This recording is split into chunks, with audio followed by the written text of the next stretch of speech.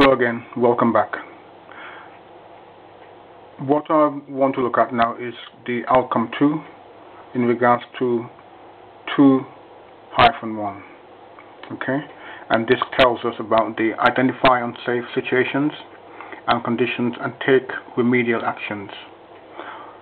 What this means is that uh, in regards to the work that you're doing, It means that when you start work, is it safe to do so? Is there any trailing cables that can trip you up, or anyone else for that matter? Are the ladders you're using safe? Have you looked around to ensure that there is no danger to yourself or anyone else? Okay. Now the rest of this you can read for yourselves. You won't need me to actually read that for to you but again taking photos of you carrying out inspections of said items, checking ladders, etc., confirming that these items are safe in full PPE is always part of your portfolio.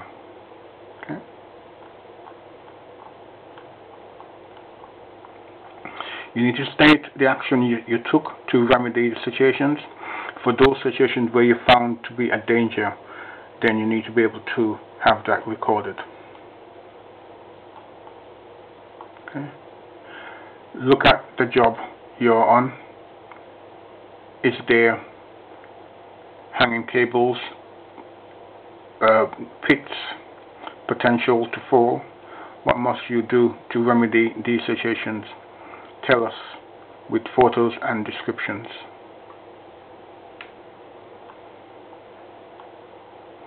Look around your place of work. Is there anything that you consider dangerous? Tell someone. Do not keep it a secret.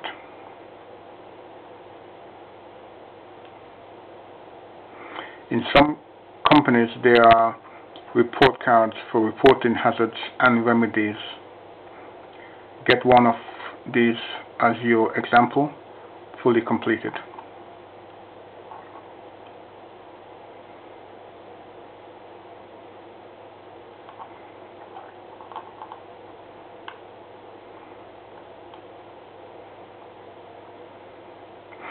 Here we're just showing you what electricity is in regards to your safety. Again, this shows you the procedure for working live. Again, bear that in mind for yourself and I'll just pan over to the text so you can see the text hopefully for yourself. Okay? And that you can read yourself. Now again, here is a flowchart showing you the steps that you should follow when working live okay? Again there is useful information on your in in your on-site guide okay?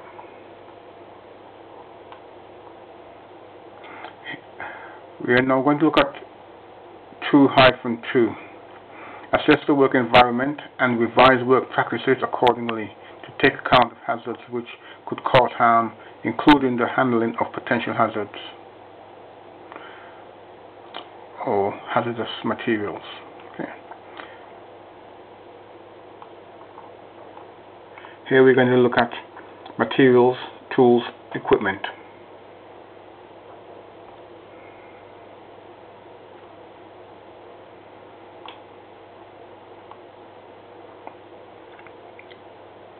I hope you can see this, of course, um, I'll keep it at a fair size.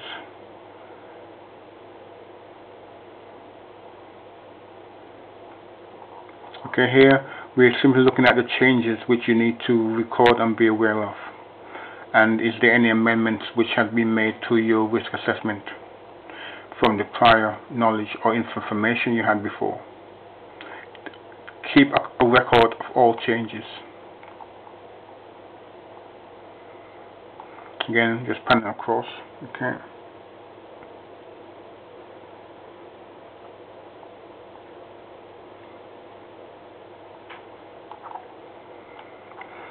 Materials. What are the hazardous, hazardous materials do we have in electrics?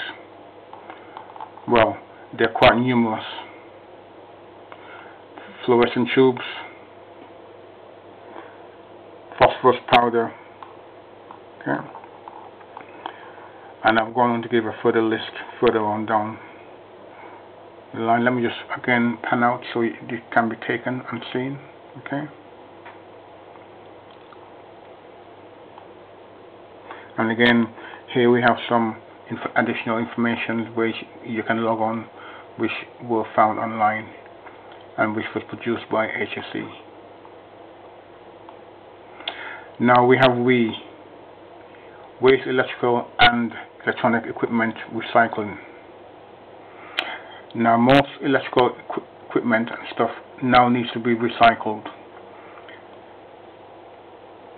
that is a directive from the European Union, irrespective of Brexit at this point in time, that will still apply to us.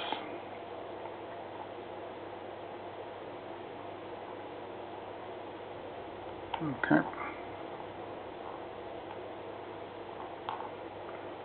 I'll just pan out a little bit so make sure we get everything in, okay? So you can see it. Okay.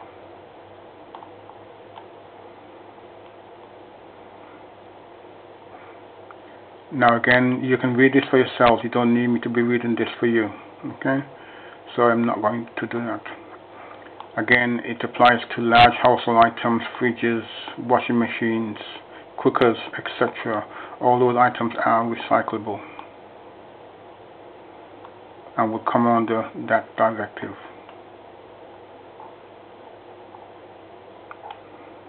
where are your tools where they're kept are they locked away in a van? Are they in a cupboard?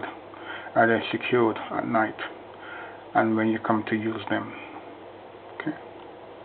Again, for yourself to read through.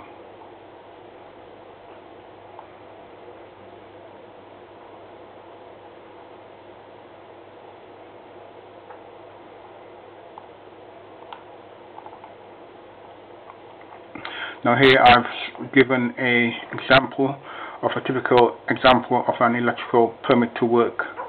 Again, in some cases you will need to have a permit to work depending what jobs you're on or where you're going to be working.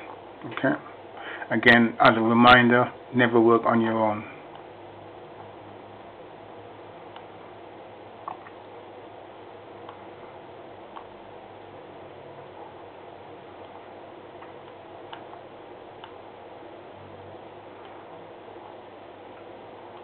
I remember working as a journeyman electrician. Uh, my electrician, I was the apprentice at the time, and the electrician would always, we would drive up to somewhere in Wolverhampton or Leeds at times. But the electrician was always there on site with me. Um, that was always essential because we found that uh, he, he often had to go up quite some height uh, high ladders and I was your footman at the time so I would foot the ladder for him to ensure that it did not slip while he tied it off at the top okay? Again just to make sure that this is in cl clarity and can be seen okay? Again that would be it okay? And uh, thank you